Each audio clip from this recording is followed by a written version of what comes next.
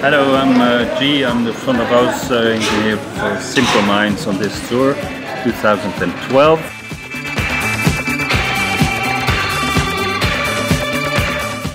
You can see what I have in my rack here. I have uh, Avalon Tube Tech.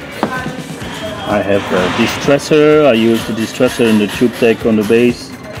Is my Focusrite for the lead vocal. This is used for the keyboards. This is used for drums, drums designer.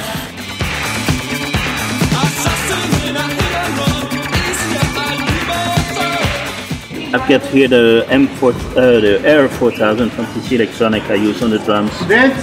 And I've got the TC Helicon here that I'm using uh, on backing vocals and on the lead vocal of course. We've been uh, doing a lot of research because uh, the tour goes about the five first albums of Simple Minds and uh, we are we have made some research to get the right sounds on the drums and also for the vocals. So I'm using uh, uh, basically all the doubling of the overdubs of the vocals I created back again with the vocal uh, with the voice live and some uh, tuning uh, or not tuning but uh, shifting octave shifting on the lead vocal. That's about it. It's a great machine. I I was introduced to it and it was really easy to use, but it's very creative also because you can really tune up to the vocal you are treating with it.